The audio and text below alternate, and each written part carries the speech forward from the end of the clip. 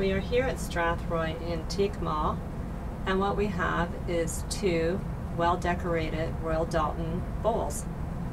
They're both priced at $7.50. One is Romeo, the other is Hamlet.